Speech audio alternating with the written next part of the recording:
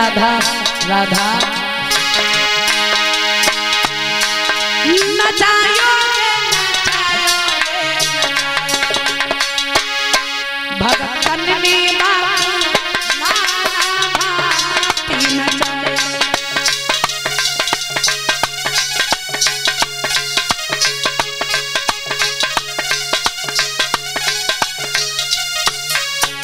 बोलिए कन्हैया कहाँ होंगे? सुनो लता। बोली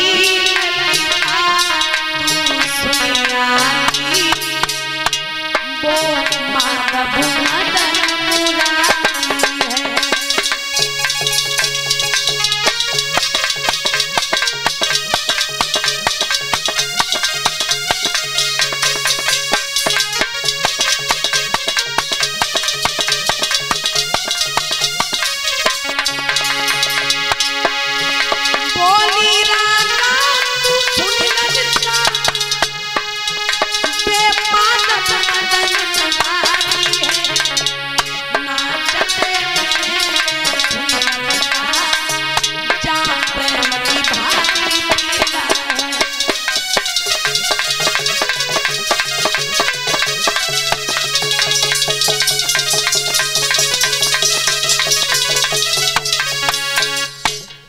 जवाब दिया जहाँ पर भगवान का कीर्तन हो, भगवान की गुणागान होंगी, भगवान की अनेक प्रकार की भोग होते होंगे, कन्हैया वहीं पर होंगे।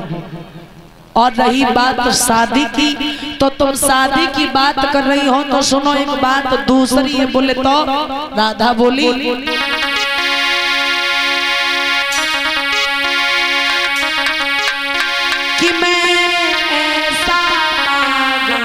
चाहती हूँ। और मैं ऐसा मांग चाहती हूँ। और जिसकी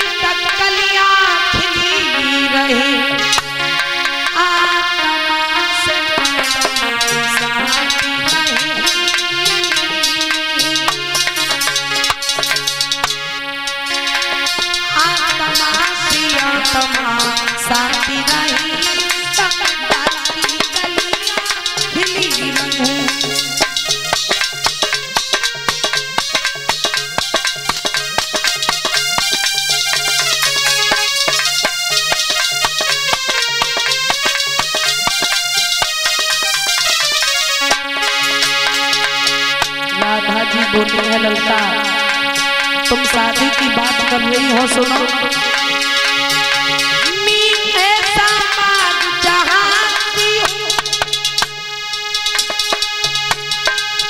जिसकी तक कलियाँ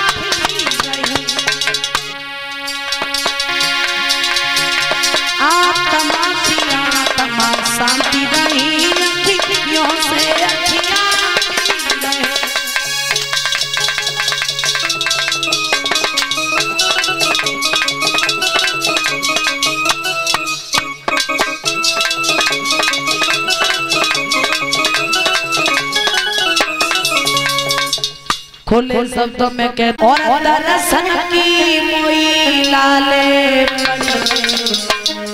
गोरे से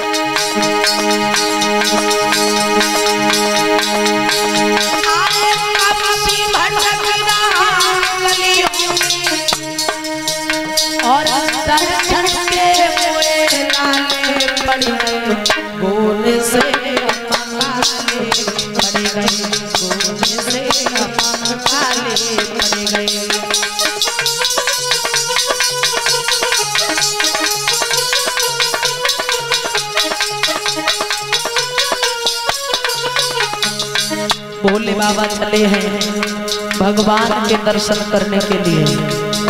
क्या सोचते जा रहे हैं मन में?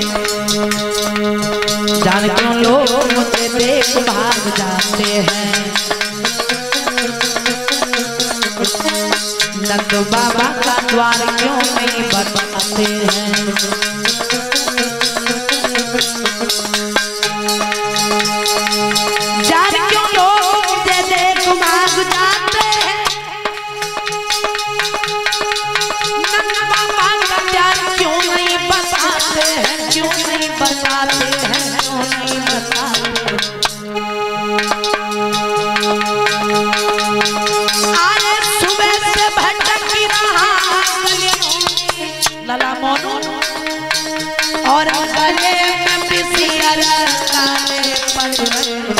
dança.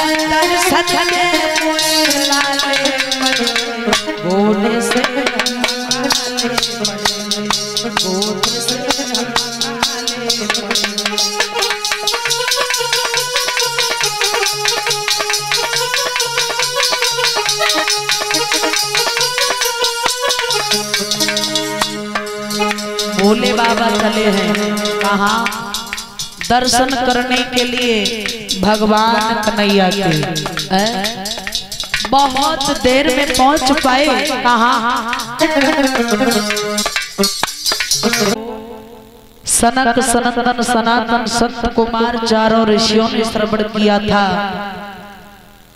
महाराज, और इन्हीं सनत कुमार ने भक्ति ज्ञान और वैराग को कथा श्रवण कराई। तो जब ज्ञान और वैराग ने कथा श्रवण की है जो बुढ़ापे में लीन हो गए थे महाराज परीक्षक। इस कथा को सुनने के बाद में उनके ऊपर जवानी आ गई और मैया पर बुढ़ापा आ गया। और ऐसी श्रीमद भागवत कथा को गौकर्ण ने अपने भैया धुंधकारी को श्रवण कराई। और धुंधकारी ने जब कथा को सुना तो प्रभु की परम धाम के लिए चला गया। और इसी श्रीमद भागवत कथा को नेमी साढ़ क्षेत्र में बैठ कर के सूत जी महाराज अठासी हज़ार ऋषियों को श्रवण करा रहे हैं। परीक्षित जी ध्यान रखना। और, और इसी श्रीमद भागवत कथा को मुझे सुनाने के लिए अवसर मिला है आप जैसे भक्तगणों को। अर्थात कथा तो गाँव गाँव हो रही है शहर शहर में चल रही है। वक्ता भी कहने वाले बहुत हैं, सुनने वाले, श्रोता भी बहुत हैं। कथा तो प्रभु की एक ही है, मगर कहने कहने का फ़र्क है। कथा तो एक ही है। कोई किसी भी प्रकार से कहता है तो कोई किसी भी प्रकार से कहता है। लेकिन प्रभु की चर्चाएँ कभी खत्म नहीं हुई। कहने वाले जितने भी वक्ता थे वो सभी प्रभु के धाम के लिए चले लेकिन किसी ने कथा को संपूर्ण तरीका से नहीं कह पाया। हरि कथा हरि कथा अनंता प्रभु की कथाओं का कभी अंत नहीं होता है। कथा एक ही है लेकिन कहने कहने का फ़र्क है।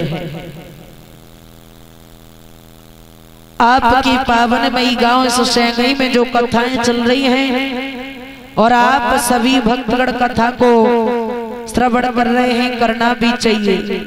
बड़े ही सौभाग्य की बात होती है जो प्रभु की चर्चाएँ सुनने के लिए मिलती हैं। तो आप कथा शुरू करने से पहले दो मिनट भगवान का कीर्तन बोलेंगे जिससे मनवाड़ी शुद्ध हो जाए। ठीक है? उसकी बाद में आप लोगों को कथा श्रवण कराएँगे।